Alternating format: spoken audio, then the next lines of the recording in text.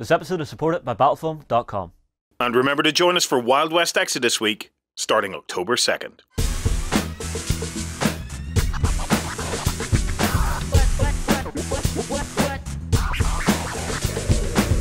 Hey everyone, welcome to the Weekenders. Time for another hour-long chat about what's been happening tabletop-wise. I'm joined by Mr. Az, Mr. Justin, and Mr. Ben.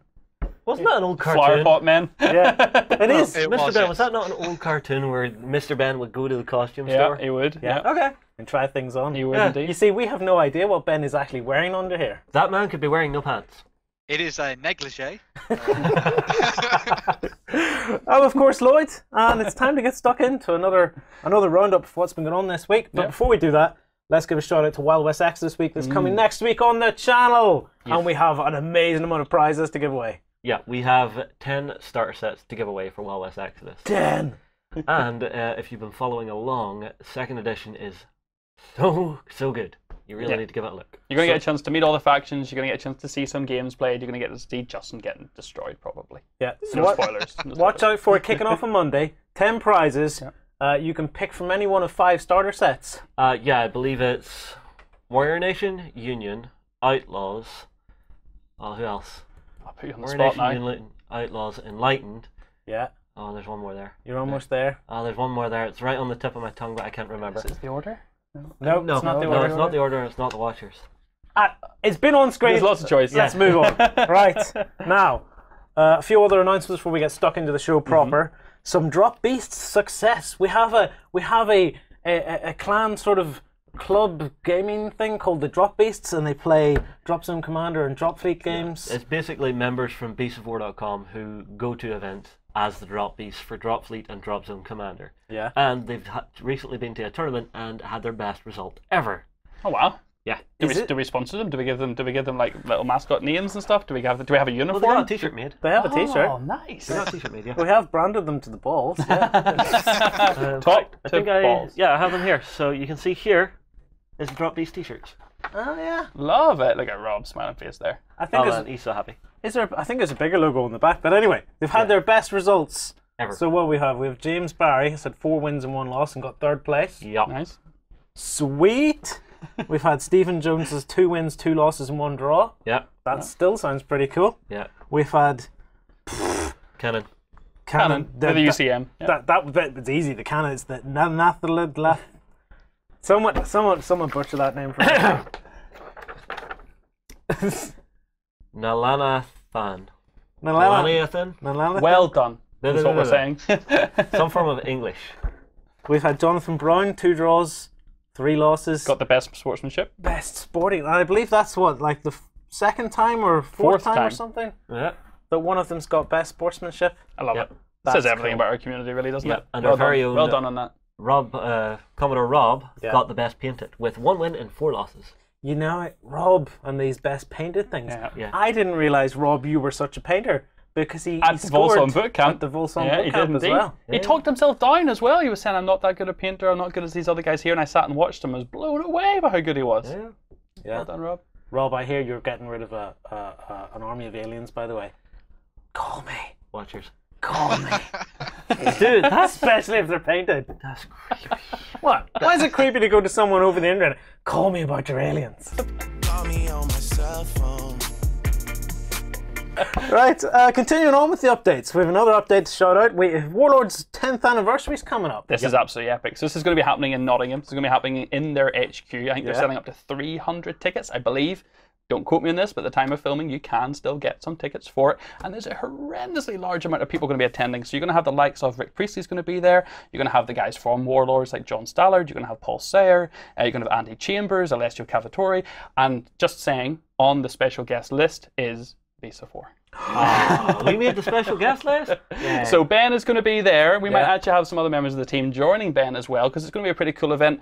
You're going to be able to take in introductory games of all their systems, every single one of them. So you know, Antares, Doctor Who, Bolt Action, right down to Test of Honor if you've never tried the Samurai stuff. Conflict 47. Yeah, everything's going to be there, so you can get a chance to test it all. But then they're also going to have little setup things for sculpting, for painting, um, Oh man. mold making. Like there's going to be lots of activities you can take part in. Two days, 14th and 15th Oh, it's two October. days? Two days. Oh. Um, I believe we're only going to be there on the Saturday, So well, we're you know, sending Ben. Ben, Yeah. are you going on the Saturday, mate?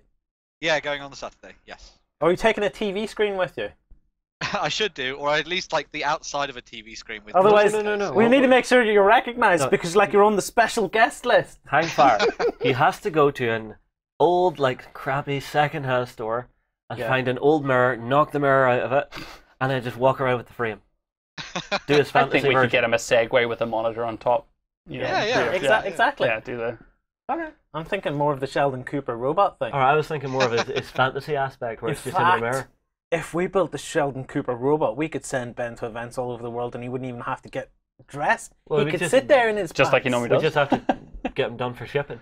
Yeah. Do you ever do you ever watch Twitch, like the, the, the website where you can watch people play games and they do Twitch plays where Yeah. they let people play the games, but it's the community typing in commands. So that it's basically whatever the community type gives the instructions. So they've completed Pokemon. I think that it's they've done a bunch of different games. It takes a long time, but they generally get there. Right. We could give the Beast of War community control over Robot Ben Wow. and just let him loose around conventions. I, I don't know, because that could go horribly wrong, knowing some of our community members. It would just be Ben stroke your beard. Let's be honest. oh, Ben, give us a wee wave. Sexy Furious. Yeah. Oh, oh, That's all. that we was get. very easy. He jumped at that. He's voice operated. Who would have thunk it? Uh, I've just noticed. When did Ben? Ben, you're not wearing glasses anymore, man. Did you get contacts? Am I? Am I late to the party on this? no, no, no. It's just, since we started doing the Sexy Furious thing, he's he's going for it. He's actually No, no, dropping well, straight in it, there. it, it's because every time we get comments on the weekender, it's like I can see your screen and your glasses, so I take my glasses off for the weekender now. There. Oh, that makes so much more sense now. So yes, Yeah. thank you, community, for making Ben blind for the weekender. We appreciate that. And then I thought, I thought it was just like sexy looks. It's really just squinting trying to see the screen. Yeah, yeah that- what you're seeing is the random twitches of his eyes trying to catch up. um, Yep. So, 10th anniversary Warlord Games. Come along, get your tickets. It's going to be a fantastic couple of days. You you can buy one day tickets as well if you just want to do. And it's in their big HQ store, That's isn't it. it? Yeah, exactly. So you're going to have a real nosy around a wee poke in the underbelly of Warlord Games. Do we have a picture of that? Do we? We do not. Oh well, maybe we can bring them up on the screen. Right, we're almost through announcements and stuff, but we've got winners. Winners from the boot camp. Yep. Oh Yeah. man. Anybody remember what they win? Two player starter bundle. So you had the the Two single player starter sets, Rulebook. Uh, the rulebook, the cards, and the dice. Yep. Uh, we had three sets of that to give away, one for each day of the event, and we have now chosen our winners. Which I'm not going to read because I don't want to butcher names. Oh, you should have because these aren't too bad. Right, Justin, go ahead. Do it. Do it. George Seeley is our first winner. I believe I've said that right, yes? yeah. Okay. Just I wanted to do a bit more. George Seeley, winner. Oh yeah. While winner. Oh yeah. That's W H I L E. Yeah, wow. Yep. Wow. Yeah. Yeah. Wow. And then we have uh, Cyborg Goblin. oh yeah. Cyborg Goblin. Yeah. Uh, I'm just pronouncing it Cyborg Goblin. It's Okay, so Cyborg Goblin, George Seeley, and while you guys have all won the two player starter sets for Wolsung, get over to beastofwar.com. I'm telling you right now, in the top right hand corner, which will be over there actually Yeah. on beastofwar.com, make sure to go and claim your prize because we don't want Justin having more factions to beat me with. What? Exactly what he said when you're done jammy dancing. Yeah. Yes. right. Now, let's get stuck into the show proper. Yep. Yes. Now, first up, Justin, I believe you were having a chat with um, uh, Lukasz, or Yes. Wukash, from Micro Uh, Art. Yeah, we call him Lukasz, but his actual name is Wukash. Wukash. Because of That's how it's said. Polish pronunciation. Oh my word, you could have told me before the Wolsung book camp. Sorry, Lukasz. Uh, yes, basically myself and Lukasz are sitting down to have a chat about the, the updated Hard Foam Terrain uh, Kickstarter Yep. that should be going live today from Micro Art Studio. Mm-hmm. Yeah. So, uh, without further ado, we'll be right back. Fame and fortune awaits in Blood and Plunder. Set sail in the golden age of piracy and claim the riches of the Caribbean at beastsofwar.com. Fight for the Iron Kingdoms as a warcaster. Take control of the mighty jacks, arcane devices, and dark sorceries to bring the fight to the Warmachine Hub on beastsofwar.com. Hi everybody, I have been joined in the studio by Lukasz from Micro Art Studio, and he has some big news for everybody out there. So, Luk- Lukasz, what, what are you guys working on? What's been brewing in Micro Art Well, Studio? Microart has been uh, working on some uh, new terrain uh, to expand our existing clients. Uh, this is a new terrain uh, that uh, adds and expands on our hard foam terrain. Uh, so basically, the idea behind this is that it's uh, big, uh, easy to assemble, quick to paint, and easy to transport because they are lightweight and durable. Uh, and then you have all of it in a, one box, and they are uh, thematically. Uh, there are different uh, teams uh, behind it. So we are starting, I think, with two, Okay. and there are plans for more. We have some more ready, uh, and various stages of completion.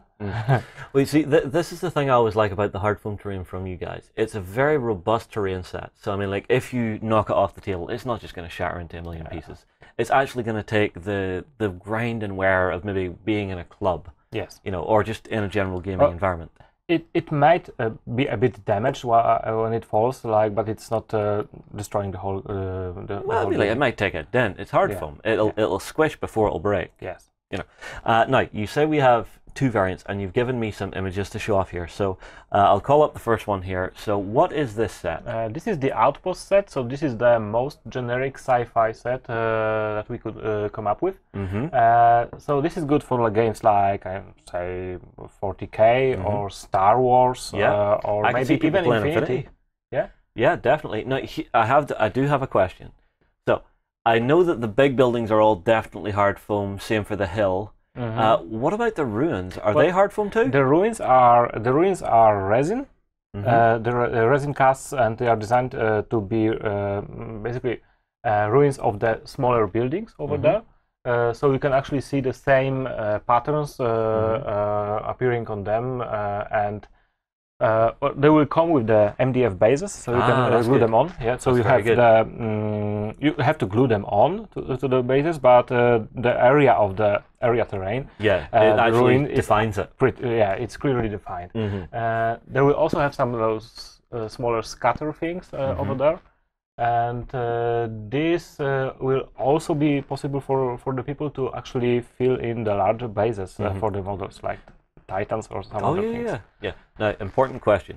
Uh, the mat that this is on. Are you guys going to be making this as well? Yes, we'll be making a mat. This is a complete package with the mat. Uh, the mat is, uh, I think, this is uh, our old uh, uh, outpost design, but there will be a new redesigned version with the with the Kickstarter with the terrain. So there is a brand new mat uh, with some cleanup and uh, nicer textures. And uh, our second package will also come with uh, with, this new mat. Okay. Uh, well, I, I have more images here. So I believe this is your Tau Ceti range, yeah? Yes, this is Tau Ceti. So as you can imagine, it works very well with 40k uh, blue aliens. Yeah, yeah, yeah. Uh, yep, and uh, it is also uh, quite tell you what. futuristic looking. Yeah, it's very futuristic. Depending on the paint scheme you give this, that could be a very, very nice sort of Yujing sort of table if you painted it up in the Yujing sort of color scheme. Well, yeah, the the round edges with Infinity is a, a bit of a problem, but then you have the ruins, then you have all the uh, smaller terrain uh, that you can use. Yeah, yeah, yeah. And, And I'm, uh, I'm guessing the ruins again are resin. Uh, yes, the, resin, uh, the ruins are resin, Mm-hmm. and they are again uh, the the designs from the smaller buildings, uh, like they are smaller huts. I could imagine that uh, this would also look great on, let's say, Tatooine. I'm sorry, just just wow. Whenever you see actual miniatures on it, it really brings Yeah. it to life. And uh, the mat is designed to uh, go well with them. Uh, Mm-hmm. This is uh, a new, uh, also a new design. It was never uh, shown before, I believe. Mm-hmm. Lovely, absolutely lovely. Now, is it just these two sets, or are you hoping there to- will be more. There will be more. Uh, we uh, in the Kickstarter, or in the Kickstarter. oh, so Yeah. that I'm guessing that's stretch goals. Yeah, that's stretch goal. You have to have some stretch goals for the Kickstarter to Mm-hmm. get it flowing.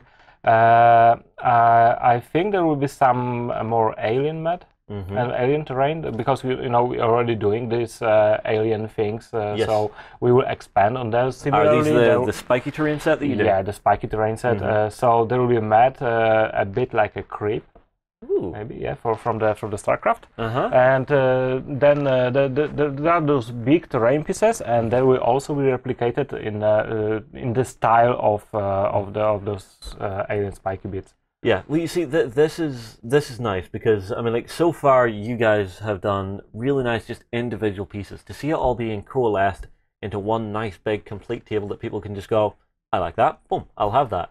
And just have a, an epic backdrop that they can just instantly lay out from a coherent set Yeah. is really good. Yeah, and it's also not really uh, explored uh, on the market with the different settings, like different alien worlds. They are mostly are just like generic human cities. Uh. Yeah, or sci-fi like, industrial stuff. Yeah, something like this. So, so the outpost is pretty like like like so the generic sci-fi set, but Yeah. uh, the Tau Ceti and the the, the uh, I think it's called the Hive. Mm-hmm. Uh, the the alien one uh, will be exploring like those Mm-hmm. more uh, more uh, concrete like uh, al- uh, alien things.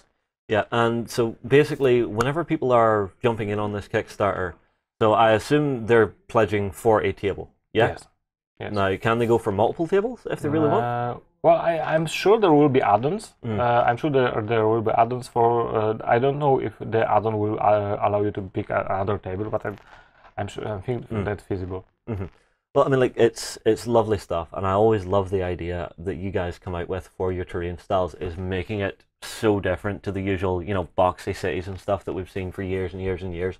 I mean, fine, I love a good, you know, ruined gothic city, but there are times whenever I do want to just fight on an alien world. Whenever I want to be in an environment that's just so different.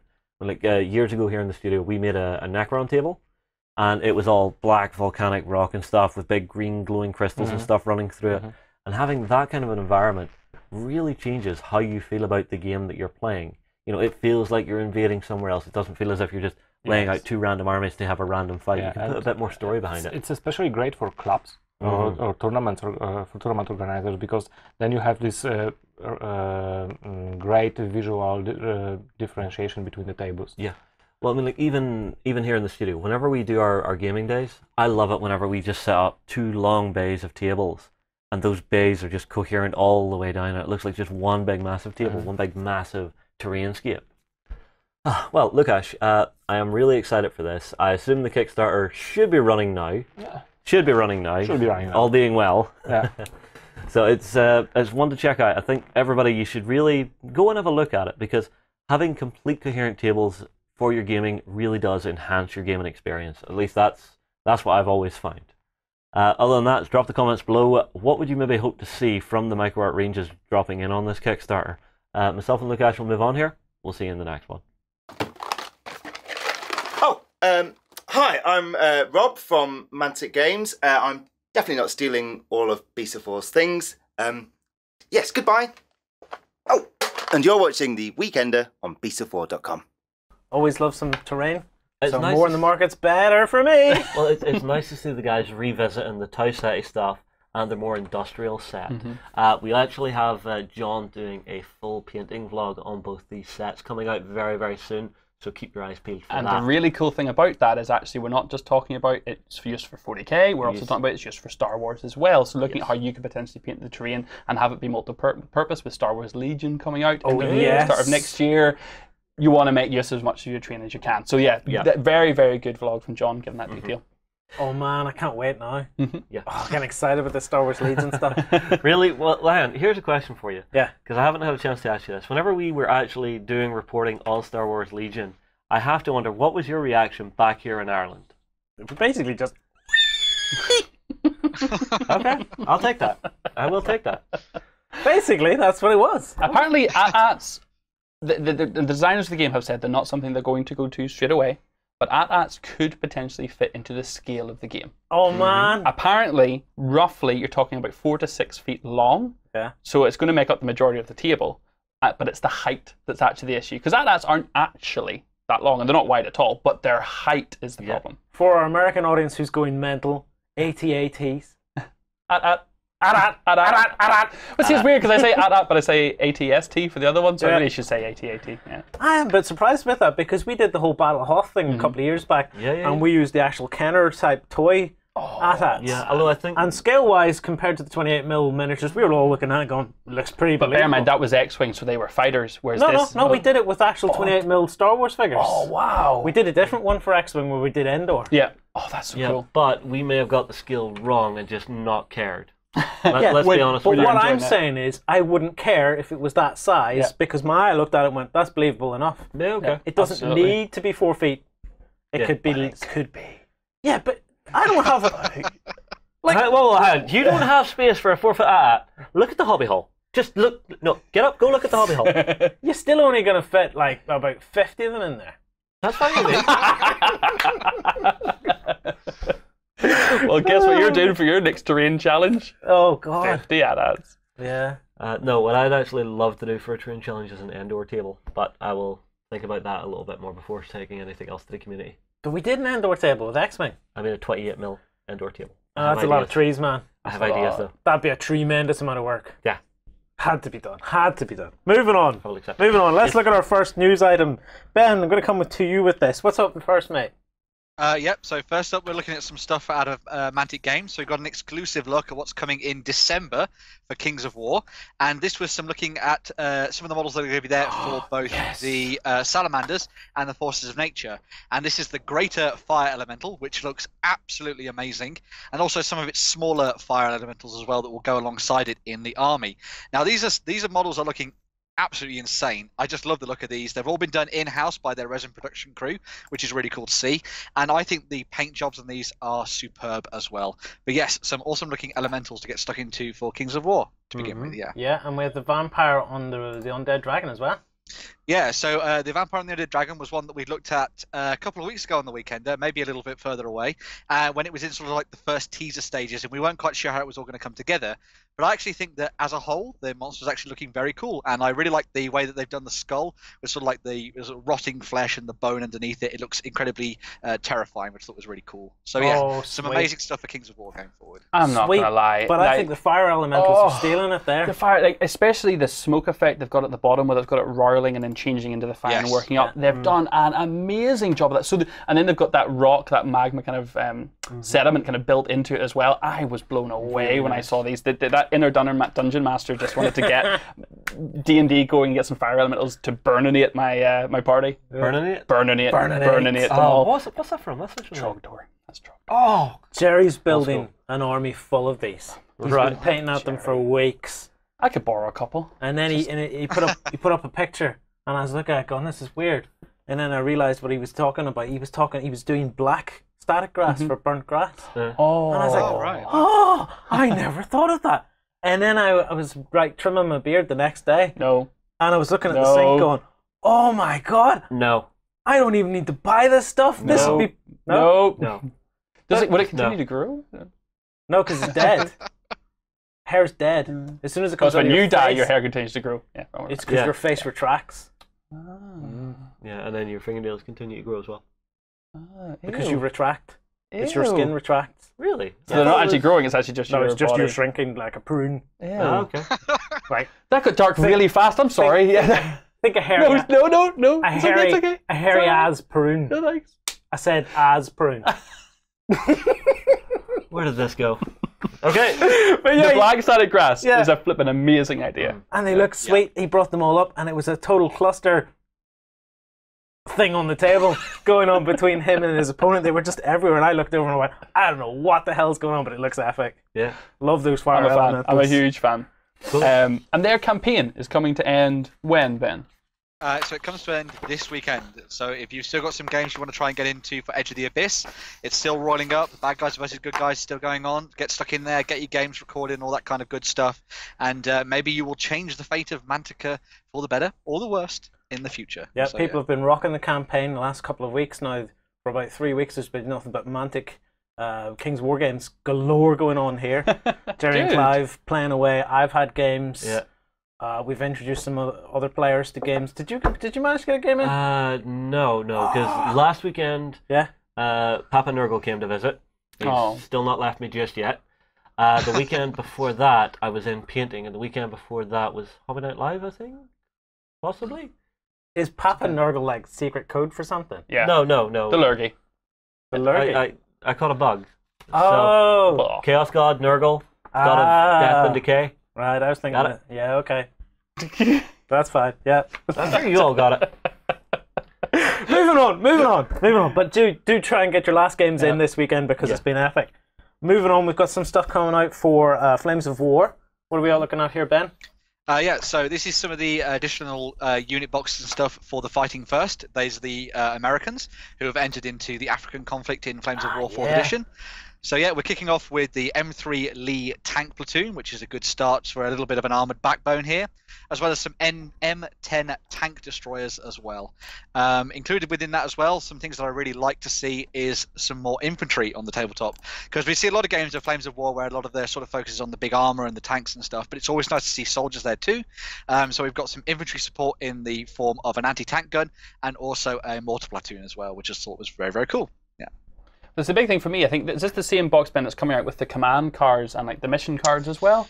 Um, yeah, so yeah, so one of the other sides to this is the command cards and the mission cards you were saying there. So the command cards are the kind of things you can use to sort of buff and change your army to give it a little bit more character and a bit of sort of like a narrative flair to it as well, which I thought was really cool. And, yeah. it sort of ties it sort of ties it into the sort of um, historical generals that were there at the same period as well. Um, Uh, yeah, because because the, Americans, this, this aspect of the fighting uh, first, this is a new part of the game, isn't it? And how they're tying the narrative in to make you know, and the, specifically the design of their tanks and, and bringing the kind of um, the upgrades and how you can change how you deploy the units is actually a really cool thing to me. And I like that seeing this so early in the release of those troops is actually really cool.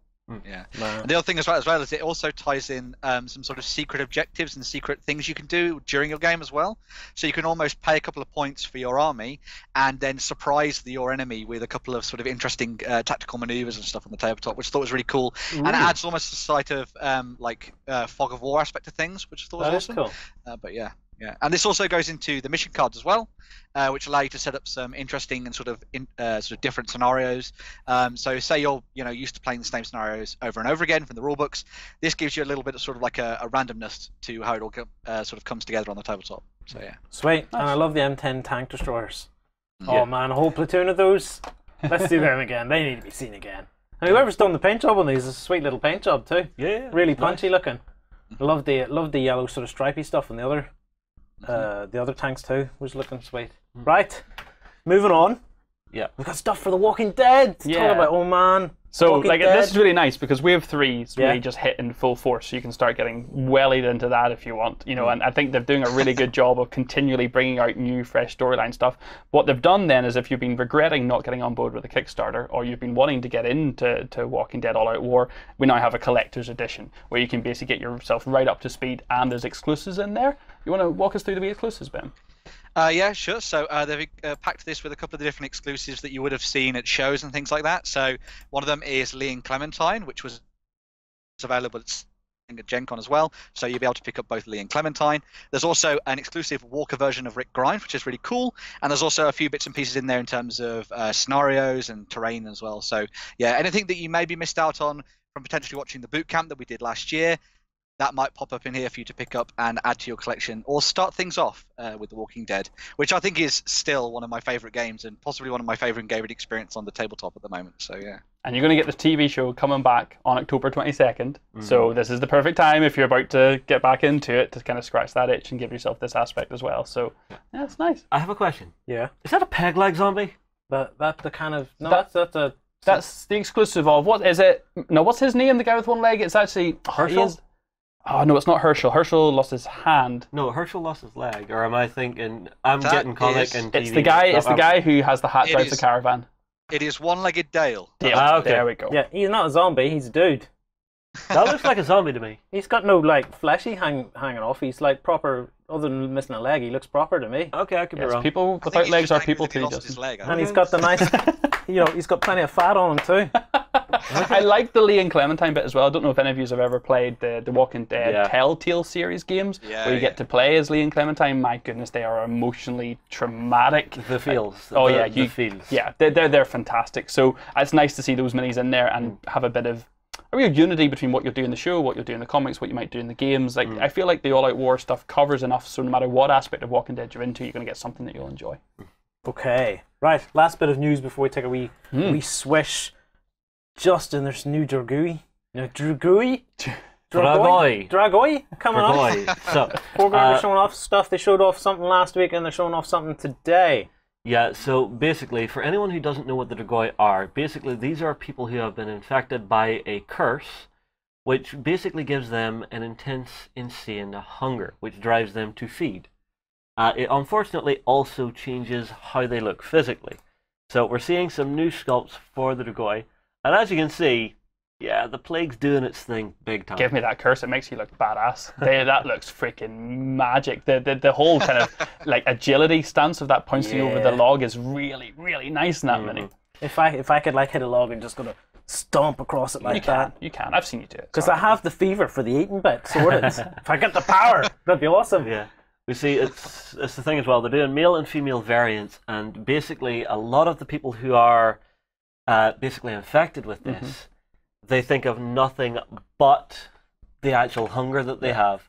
So depending on how they get infected, sometimes the the curse takes a, a fair amount of time to mm-hmm. actually take hold. So you know you might get scratched by one of the Dragoi or Dragul and be sitting eating your dinner, and you know the the dinner's not filling you. You want more, and you want more. Maybe I've and been you want more. I think that's what my problem. I've been scratched. I think. and eventually just you'll hit that critical mass point where you just go, okay, I'm eating everything in sight. By the way, my wife and kids now look rather tasty. Wow, for a minute there I was sitting thinking, Justin's wife and kids, you've been keeping that quiet. Uh, we also have uh, another couple of. this is the stuff here. that came out last week that we're going to look at now, isn't it? Yes, I believe, which is more of them. So they're doing lots of different sculpts Oh my. for them, and you can see the the clothing just becomes matted, ripped. It's not something they consider anymore, and yeah. So I think this might actually be a dwarf. Oh, yeah, man. yeah, that looks right. It's And it's what- a gnome version of the Ah, uh, stalkers. Oh, cool. Oh, man. Yeah. It's nice to see that it can infect anyone. I'm really interested to see where the guys at 4Ground take the storyline for this. Yeah, too often I think we see just humanoid-looking zombies and skeletons, and not maybe Yeah. often enough see dwarf or gnome Well, versions not of it. zombies. Yeah, I like that. Yeah, They're, they're still alive-ish. They, there used to be a regiment of renown, also like a, merc- a mercenary regiment for Warhammer Fantasy back uh, maybe two editions before the end, uh, and it was called Richter's Cursed Company, and it came with dwarf skeletons, orc skeletons, humans, and elves, and it was one of the coolest things. So it's really nice to see uh, 4Ground doing something similar and changing things up and adding in all the awesome races and stuff for their sort of undead and their wasted away mutants and stuff. So yeah. Okay. Since we're talking about this, um, I think there's still some there's some tickets possibly still available for the the beta weekend Yep. yes. that were that's being held here. yes, and it's being held next year. Yes, we're so just you do sorting have out time to sort your vacation time. we're just sorting out some final details. But if you head over to their pledge manager, I think that's where you can get you can go and grab a ticket if you want to try and get in on that. Yep. Mm-hmm. But late pledges are ending soon. I believe it's 6th of October. So if you are interested in coming over that, get on it very, very soon. Yeah. Okay. Right. We're on opposite news, but we're going to go for a quick break, but then we're going to be back because as we're going to talk about something close to your heart, mate, we're going to be talking about some Star Wars Destiny Yes. and our first sort of reactions to our first games. Yeah. So we'll see you in a minute. From Viking halls to the cities of the future, terrain buffs will love our 4Ground hub. Watch gaming tables of all genres come to life at beastsofwar.com. Humanity has been driven from Earth, but now it's time to take it back. Join the Reconquest and fight the Scourge on the Dropzone Commander Hub at beastsofwar.com. All right, welcome back. Look at that face. Look how excited that face is. Excited for the Destiny, man. Yes, I am. Yes, I very much am. I wasn't expecting Warren to dish out the challenge on uh, Weekender just previous there, where he said he wanted to have a Star Wars Destiny tournament Yeah. in Beast of War in the studio. But I grabbed it with both hands, and we've been getting started. That's Warren. Whips out stuff when you least expect it. And you just have to take it and run with it. You, You just, just have, have to to, lay your hands on it, it man. hits you in the face, and you just have to say, "I'm going to deal with this right now," because to run away with it means it's just going to come back and get me later. So I, I so I took it. I took it. Um, so in the next few weeks, probably you guys are going to get to see all of that. But to get everyone in the studios started, we've been kind of having a little play around. And the name we're currently currently tossing around the office is. Are you ready for it? Prepare, prepare, prepare. Come here, come here. Th- all right, this is the first time I've heard this. Okay. Starter Wars. Oh my god, it's amazing! Starter Wars! For anybody who doesn't know, we're basically going to have a tournament. Go and watch last all week's about show. Star Wars, but also all focused on the Star Wars Destiny starter sets. Yeah. So we obviously had the newly released Star Wars two-player starter game, which mm-hmm. gives you the new Rey, the new Kylo, the new Captain Phasma, and also the new Poe Dameron. Mm. But we've also got, if you want to show them off, the old Rey and the old Kylo starter sets in the studio now as well. So we took it upon ourselves to have a little evening where we got together and gave everyone a few chances to get behind the cockpit, I guess, of a couple of Star Wars' coolest heroes. Mm-hmm. No Darth Vader's, no Luke's at this point, no Yoda's yet, but you know. so everybody but the coolest then. Some of The the, starter set. some of the yeah, so, so some of the starters. So we're, we're focusing primarily on getting everybody used to playing the game, getting a chance to really sort of get into it and learn together, and then we're going to pitch it, you guys all head to head against each other to find out who's the strongest with the Force. Um, I'm going so- to say this now. This game is dangerous for me. Everybody out there knows I don't like collectible card games. I unfortunately like this collectible card game. My bank account is sitting there going, no, no, no, don't do it, Justin. Don't do it, don't do it, don't do it. This is a bad plan. Now we kept that in mind because for everyone Yeah. at home, we're only playing with starter sets that you can pick up with set boxes with no other random booster pack cards or anything like that. Yeah. And the whole premise is we're just going to play with these and nothing else. Yeah. So hopefully your wallets are all safe, and my wallet is well and truly safe. Not saying we won't do something in the future, but that's where we're going to start. Um, so Justin, to get you introduced, Yeah. we hopped you in with Kylo and the Stormtroopers. Uh, yeah, so I, I jumped straight in with the dark side. you, didn't, you, took, you, you got used to that pretty quickly. Yeah, yeah, yeah. Well, I mean, like, unlike everybody else, everybody else is playing with two characters. I'm actually playing with three. So Kylo does get to rock with two stormtroopers. This is from Kylo's original box set, and so he he is cheap enough um, at his own points level that he can actually take two guys with him, giving you a bit of flexibility. Also a little bit fragile. Yeah. How did you find your first couple of games? Uh, it was actually really fun. I like playing Kylo's ability Mm-hmm. in this version because this current ability is if you roll his dice and it comes up with his uh, special symbol, if I can find it, this one. So if you put that under camera, Yeah. uh, you get to select uh, an opposing hero, That's it. Special. select a random card from your opponent's hand, and whatever the cost of that card is in resources, you do that much damage to that card. So, uh, so straight away, you're not just kind of back and forthing and lightsaber battling. You're actually playing some mind games immediately out the gate, which I Oh, yeah. knew you would like. Oh yeah, th- this is this is right up my alley. Now here here's something I did. So anybody who is a proper collectible card game player, Hold on, let me just shuffle these up. Right, you're trying to pick the Kylo. all right, I'll not pick the Kylo. Try and get the Kylo. And I will cover my glasses so there's no reflections. No, no, no, no. I'll take no. my glasses off then. There's no reflections. All right, so I need to figure out which one it is. No, I got the trooper. I got But, it wrong. but Justin was it the middle doing one? very well, very well in his it the middle initial games with reading Lloyd and Warren's gaze and where they were looking and actually picking out the Oh, big high so value good. cards. Yeah, you, Justin- you were looking at the wrong card deliberately, weren't you? Yeah, yeah, just before we go on, Justin's like, you know how I managed to pick the right card all the time? You and Warren kept looking at it. So just then I've just like crossed my eyes so you can't tell what the hell card I'm looking at. Yeah. So top tip, if anybody wants to pick a card secretly from you, don't look at it. Put it, no, no. Put the card, shuffle them up and put them face down in front of you. Right? Because otherwise, if you're holding the card like this, right. So let me shuffle these up a minute. But you've missed the whole enjoyment of trying to coach Right. them to take cards. So as if I don't want you to pick a card like this, which one do you think you want to take?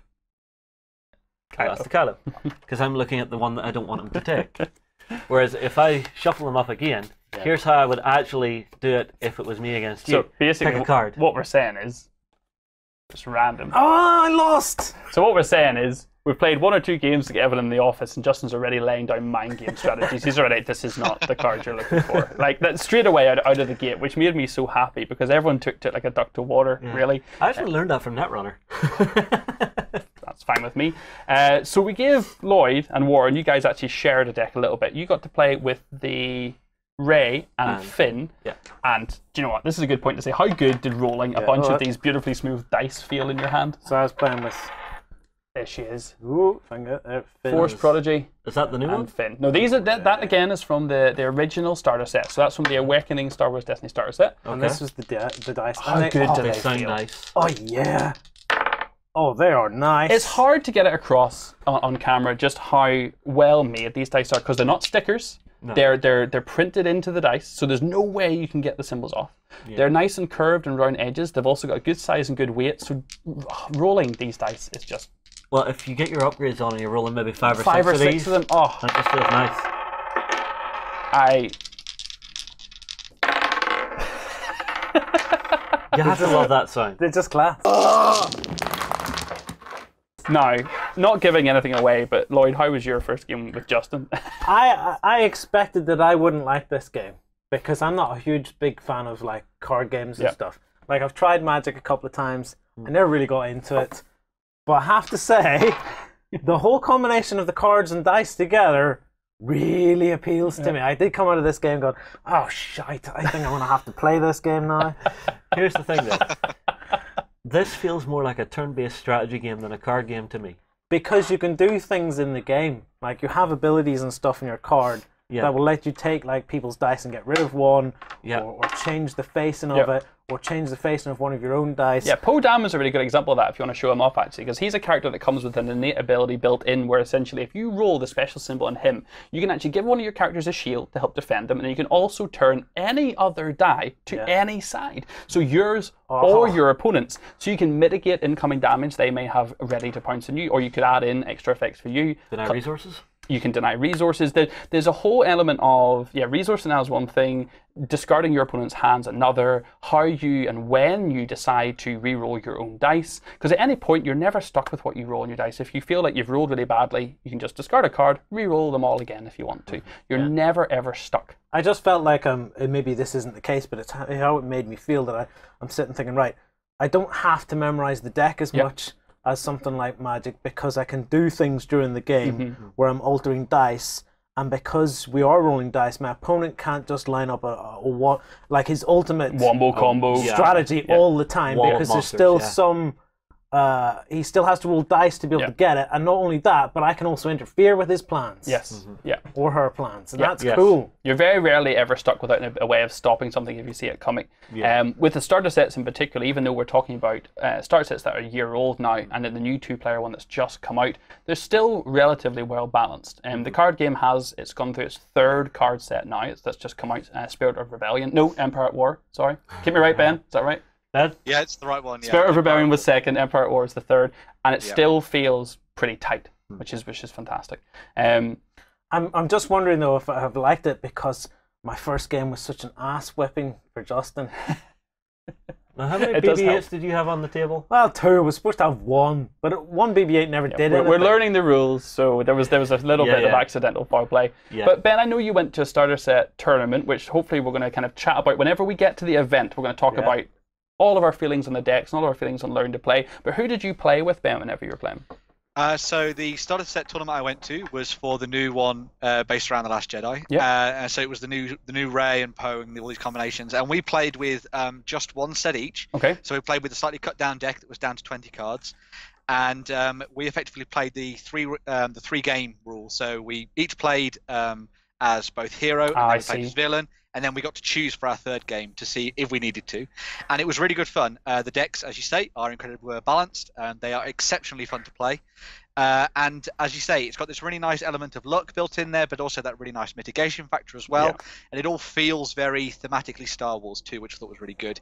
And importantly, for the sort of new sets as well, it comes with those really nice uh, sort of named weapons for the characters, which I thought was a really good good spin for what they were doing with the two-player starter set. So yeah. Yeah, interestingly, like, Lloyd, you have the cards there for Kylo and for Captain Phasma, the, the, the new version of both, because essentially um, we are seeing some characters repeated, but as they evolve in the lore, they're both viable. You can play with either in your deck if you want, not both at the same time.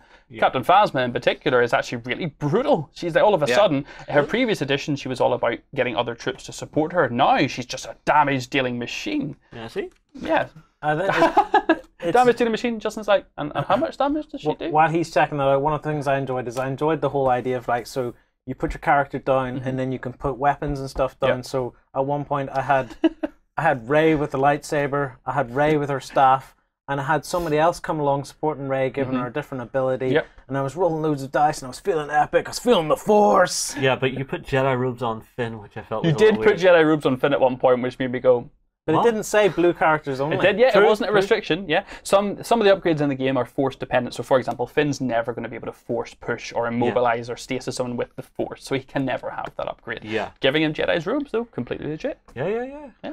That's it. I, I, I'm sure he was probably in the Falcon, hooking around some of the old storage bins. You know, full find Ben's old. That'd be pretty cool, actually. Yes, I like that. But it, it because you you're upgrading characters and giving them abilities, and then you have support characters Yeah. and things like this, and events that can be played. Mm. It makes you, as you're playing it, think, okay, I've powered up this character in this direction, and I've powered up this character like this, and then maybe you're unlocking some more resources. 'cause You've got to manage resource through this game as well, which is cool. Yeah. Right. You've got to you've got to earn resource to be able to put these upgrades down beside characters. Mm-hmm. It makes you think, who will I upgrade first? Uh, how will I upgrade them? Mm. And then what order will I actually activate these? Because it's kind of it's kind of activation back and forth. Absolutely. And then the order in which you activate stuff is really intriguing because you're trying to goat maybe your your your opponent for like you'll maybe try and activate your what you deem to be your less useful Mm-hmm. character to get them to play some of their useful abilities. So it's when you hit them with your good character, I'm giving too much away, Yeah. but it's it's the level of strategy in it is actually pretty astounding. So we are going to have plenty of talks about the different decks. We're going to have plenty of talks uh, and, and games where we can kind of learn to play and play with, with everyone in the studio as, as Yeah. we do play. And I think we're probably going to make a big week of it, and then we're going to have a big finale where we're going to find out who in the office is Sith Supreme or Jedi Supreme. Yeah. Um, I shouldn't. So I shouldn't assume the Sith are going to win it. uh, I do have one question. So, moving on beyond that, how do I get new characters to put into my decks? Is it all from boosters after that? Now look, I'm, I'm not going to um, you know, block your ears if you think you're liking this game because this is the point where the wallets twitch. But yes, if you want to move beyond what you're seeing in front of you here now, Hmm. It's booster packs that are completely random, and you're always guaranteed to get a dice in the booster pack. So you're always getting a dice, but dice don't always have to relate to characters. Yeah. They can. A lightsaber, for example, comes with a dice. Rey's Right. staff comes with a dice. Yeah. Hose blaster comes with a dice. There's also ATSTs. There's also um, TIE Order, TIE fighters. fighters There's stuff, all yeah. sorts of things that come with dice. So when you buy a booster, you're guaranteed to get one, but Right. that's kind of it. If you want more characters, Can you ever get more than one dice in a pack? Uh, Is it no, you always get one in a pack, but you can go online and buy them directly. There are plenty of places Oh, online where Don't- you can don't just, tempt me, don't know, tempt if you me. wanted to build a specific type of deck, you could go on and do I would love to build a Han Chewie deck. Uh, is Chewie in the game yet? Yes, he is, Uh, isn't he? Han and Chewie were in uh, Spirit of Rebellion. Yeah. I think uh, they may still be available if you can find some copies uh, online or if you can find booster packs and stuff. Um, but now the latest set, Empire of War, has moved more towards a focus of red and sort of yellow characters from around the era of Clone Wars. Mm. Um, so if you're interested in that side of side of things, there's the likes of Mace Windu and some really awesome bounty hunters as well. So if you like the idea of bounty hunter decks, those are out there. You can have. Samuel L. Jackson on, on a card with a purple lightsaber. Yes, you can. Yeah. is there a Jar Jar Binks? Not There currently. is no Jar Jar Binks yet, no. Why not? Best character ever in Star Wars, Jar Jar Binks. Drive people out the room. Default win. oh, Jar Jar's down. Table flip. so yeah. So No, no, you didn't just Jar Jar me, you. Ah. Yeah, the one thing I do need to get is I need to get a small toy table just to put on the gaming table beside me, so that whenever I get fed up, I can just flip the tiny table. long story short, you mean after I beat you again? Yeah. This this is what I have to deal with is rebellious. The lead to the dark side will the, the revenge in you two will. Oh, yeah. I'm, I'm ready for war. Bring it. So yes, look out in the next few weeks. We're going to we're going to find out who actually is the best. Okay. Cool. Okay. Yeah. Yeah. yeah. Looking forward to it, lads. I'm looking forward to it. We'll go for a quick break and then we're going to come back to talk about some Kickstarters. Become a general of mighty armies at the Kings of War Hub. Take command of elves, dwarves, and orcs in this game of massed fantasy combat on beastofwar.com. It's time for 28mm World War II action. Will you recreate history or reshape it your way? On the Bolt Action Hub at beastofwar.com. All right, Kickstarter time. We've got a couple of doozies to look at. Ben, hmm. what's up first, mate? Uh, yeah, so the first one we're looking at is Empire of Men by Archon Studio. Uh, and so this is their campaign that is going to bring together two sets of interesting looking miniatures for you to use in your sort of sci-fi and weird World War One style uh, experiences on the tabletop. So you could drop them into a whole range of different games. Uh, this sort of comes down to two factions at the moment, which is the Great Empire, Yeah. which is made up of a whole bunch of uh, female miniatures, which are done in a some very cool, awesome sort of World War style clothing, as well as some interesting mutants and stuff thrown into the mix as well. So you've got the big guys, the big hulking brutes that are out there in the wastelands. And then on from them, we've also got the Echelon Dominion, who are slightly more sort of Giger-esque looking, sort of maybe even elfin uh, um, sort of thing going on with them. Uh, they're sort of um, genetically uh, sort of modified and scientifically messed around with, but they've sort of got this interesting sort of mix of alien creatures from beyond the stars. And so, yeah, as I say, they've got these really nice themes going on between these two. So they work in a whole bunch of different settings, which is really cool. Um, all the miniatures as well are actually done as multi-part kits. Uh, so you might know that Archon Studio have done a lot of stuff with their Unicast system, but they decided to go back to the idea of doing some really fantastic looking resin pieces in multi-part kits so that you could mess around with them, do a little bit of customization as well, and uh, get stuck into vehicles and troops and characters and all sorts of different things. Interesting, interesting The, stuff. the amount of the range of different walkers and stuff in, in this set is actually really interesting to me. They've got kind of what looks like kind of hover ships and things, but then they've also got what looks like mechanical horses. They've Yeah. got them big walking kind of turrets. They've got there's a real diversity to the sci-fi. It's not just kind of going down one route. Can I just clarify? One one faction's not all females, though, is it? No, no. So the the um, as I was saying, the Great Empire, yes, they have a sort of standard baseline of a lot of female troopers, but they've also got the sort of mutants and the male characters thrown in there as well at the same time. So, So it's sort of a 50-50 split. yeah, yeah. Because I was, I was looking at them and I thought, oh, there's some really cool models and stuff Yeah. in Yeah. here, and I was seeing a balance between female and male characters. Yeah. And then that big beefy guy with the big shotgun thing, Yeah. I was looking at that going, oh, I really like that. So this guy here, Yeah. I, there's, I think there's a better Yeah, if you picture go if you go a little bit further, he has it right cocked over his shoulder. And then it's Yeah, interesting. Look at Yeah, yeah, this. Where do you see this? Look at that. yeah, that's quite cool. So it was just the sheer scale. If you see him standing beside the other two, yeah, the lady and the and the fellow. I think that's Yeah. a fella, or maybe that's two ladies. I But love anyway. the sniper trooper. Yeah. Very very cool design. But what I find interesting is I was watching the wee vid, Mhm. and it's basically, as from what I gather, it's like World War One never ended, and it's now 2042 or something like that. Yeah. And Winston Churchill the third, or Emperor Winston Oh, wow. Churchill Emperor the third, Winston Churchill. Yeah, is saying, oh, it'll probably be over in a few days, and I was thinking, oh, that's kind of cool. But as I understand it, there's no game to this. It is just two two ranges at the minute. Yeah, so they developed a little bit of a background uh, to sort of flesh out the forces a little bit and give you an idea of how you might want to paint them and stuff.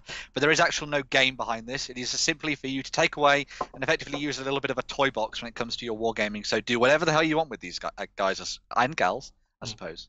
So, Yeah, This, this is a weird question. but I- I'm going to ask it because I don't know the answer. Is there any World War One role playing games?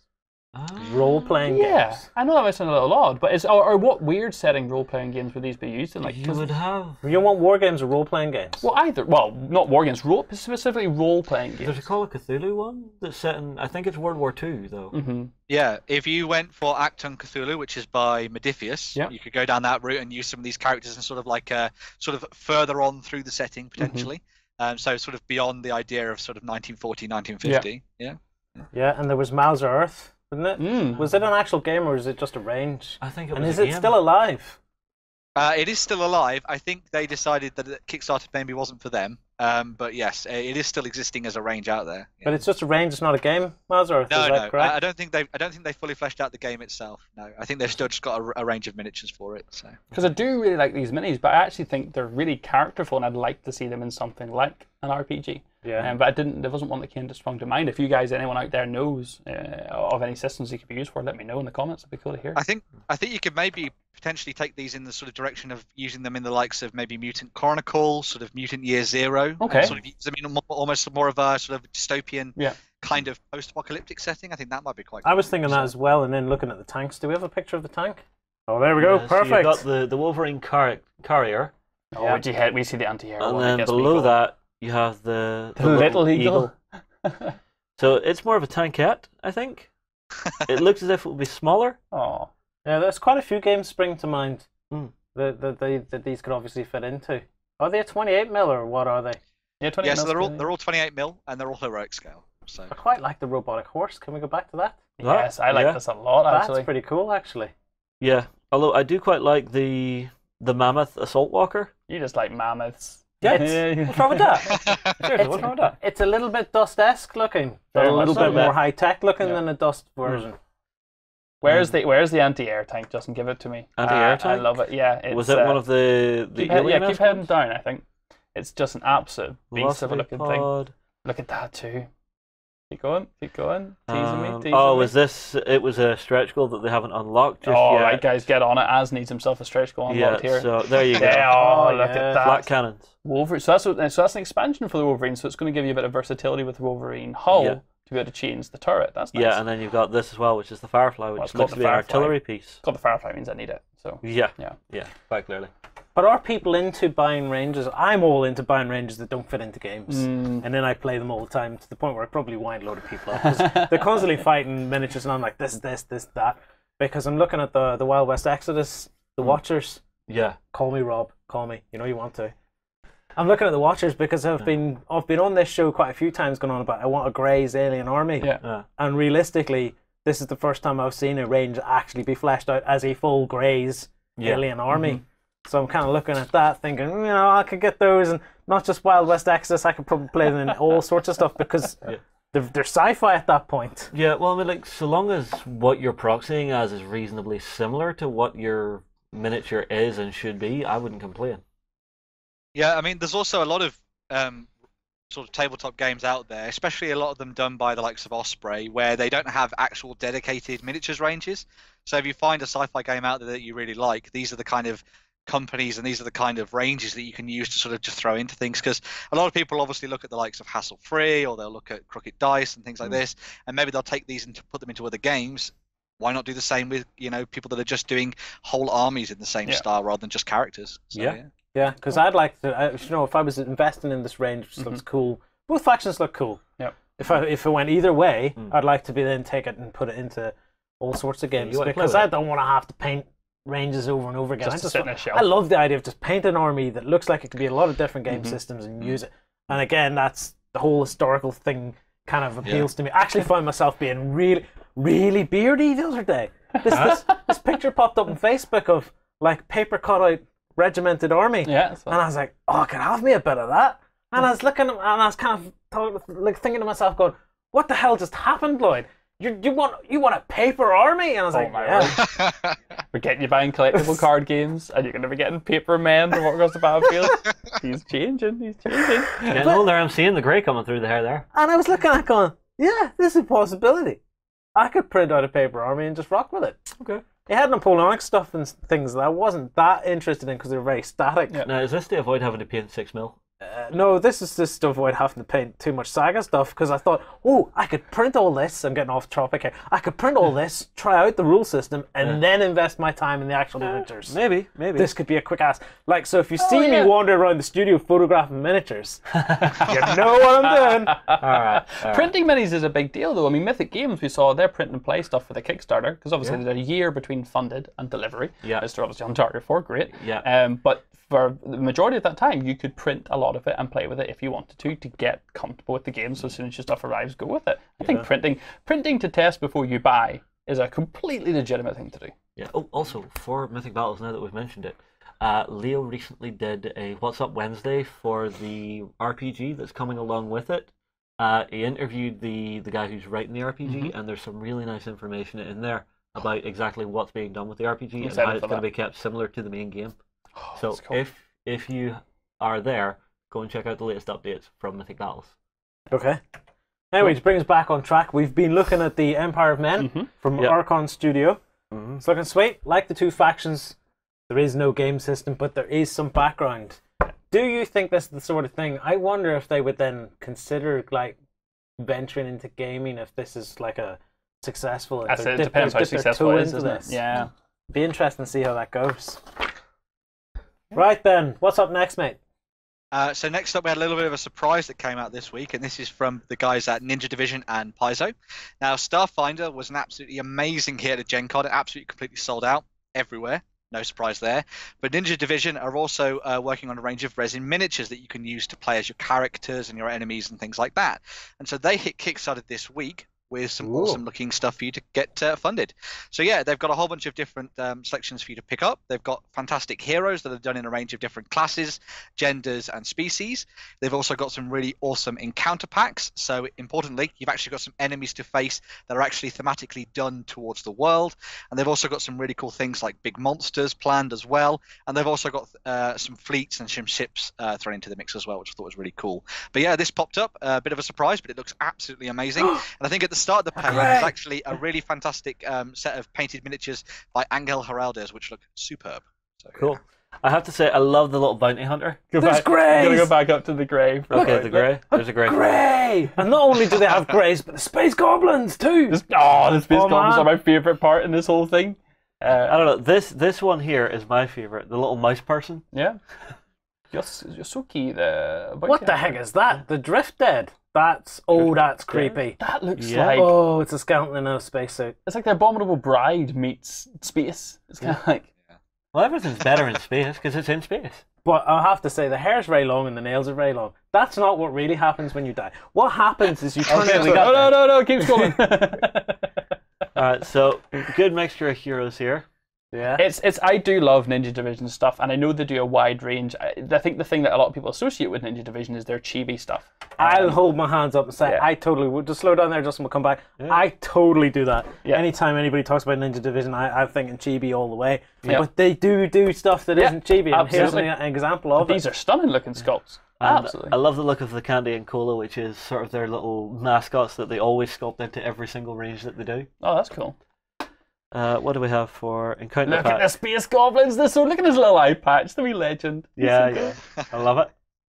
See, this is one of the things that I really liked about this. There's a lot of um, sort of sci-fi systems out there, sci-fi role-playing games where you can get lots of character models, but it's really hard to find enemies that match the theme that you're trying to go for, and Mm. occasionally that'll mean that you'll only end up fighting against a lot of humanoid stuff. Yeah. But because these guys are actually putting in the effort to create some really fantastic things, like as you say, the space goblins here as well, and things like that, we've got a really nice sort of range for people to get stuck into.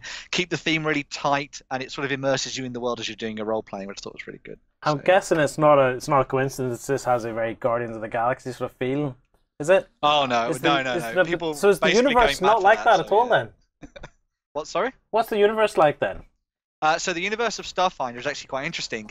It's actually set in the far, far, far future of their Pathfinder universe. Oh. So all the fantasy races have now evolved into sci-fi races further down the line, and they're sort of exploring the galaxies and things. So it's all tied into what was exi- um, existing in the Pathfinder world. Hold on, hold on, Ben. So does this mean if I play a long enough Pathfinder campaign, it could just carry on into a Starfinder campaign, You could die. Maybe. Your hair will get longer, and your nails will get longer, and you'll turn into one of them. become a creature in Or- Pathfinder? A, a wizard might cast a spell on you to make you fall asleep until you wake up in Oh this my new world. god! And then you'll wake up and go, "No, I slept too long." And if you were a wizard, you have now become a space wizard. And space wizards are the coolest wizards.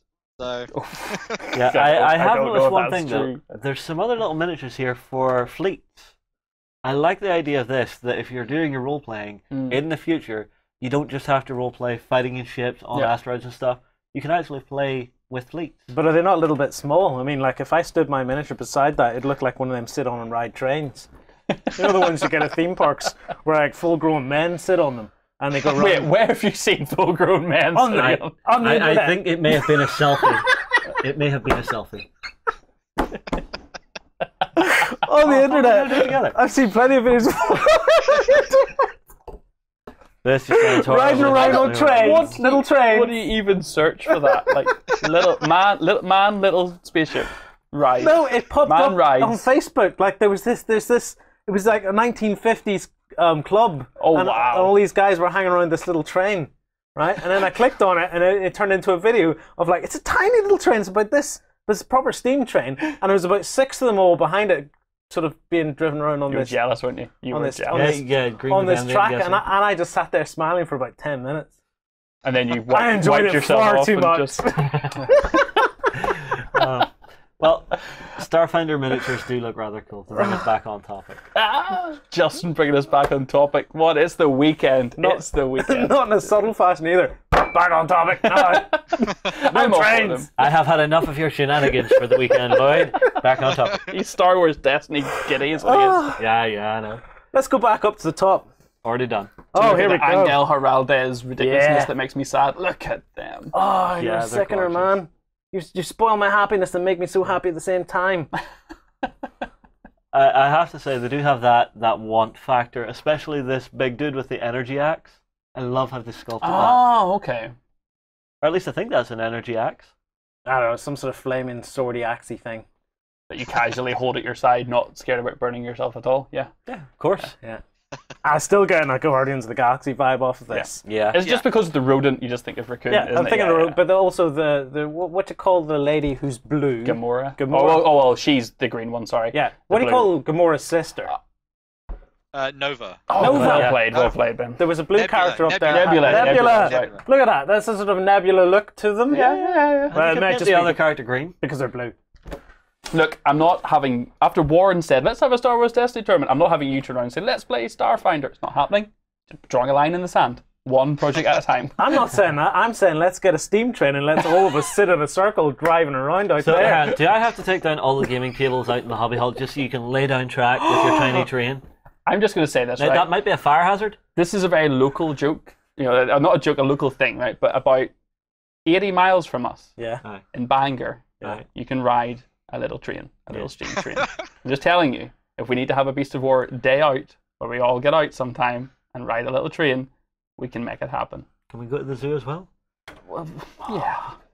Just saying. I'm just saying. But there has to be a lot of us. Like, there's no one man wants to ride the train on his own. no, no, it has to be. Because you'll look stupid. Yeah, because when people want to Google the video later, they'll be like, "Gang of men ride little," and then the CEA will jump in and beat them up and stop them searching No, you see, anything. no, you see, I just want one of Lloyd sitting on the train on his own, just going around the restaurant going. No, see, I'm even not going to do that because they have a little train at the Transport Museum. Yes, Uh, they do. And Anna was like, Do you want to go on the wee train, Lloyd? Your, your inner child was like, "Yes," And I was like, Yeah, but I don't want to be the only guy on the train. what you need is to adopt a, a, a child for the day. So you have a child that goes on the train with you, and you look like you're the father or the uncle or the older brother. Well, if you go there on Father's Day, you get in for free if you're a dad. Top tip. then there's going to be lots of dads riding the trains at that point. Top so- tip. Top tip. Anyway, back On that note, Right, so basically, we need to shave Sam, make him look young again. Yeah, this is going very strange. Let's wrap this up. This is going really weird. Right, that's it. That's the shenanigans for today. If you've enjoyed that, those shenanigans, that's like a word that means. or you want to fun. share in the comments, you know, at beastofwar.com, your ideas of where we can go and get in for free and ride on trains. Day out. Yeah, but Four we'll, we'll get a, a suggestions. map going as a group. as a group. As a, as a group. We could all do. Everyone around the world could go and do it on the same day, and we could all sh- share our pictures at the same time. Then we'll never be There alone. probably is like a An international train day. an international ride little train day. Oh my god, I gotta have to check that up. Right, come on. There's enough of this, right? Right, If you've goodbye, enjoyed the everybody. show- Keys off if- to Google. If you've enjoyed the show, come on over to ba- uh, over to Beast of War. Join backstage. Check us out on Sunday. We see you then. I have to go and Google this thing about trains. See you later. Bye. Choo choo. Go ahead and check out our other content on screen now, and be sure to check out beastofwar.com for the latest gaming news and gaming let's plays. And while you're at it, why not hit subscribe and remember to ding our dong. Go on, you know you want to click it. Go on.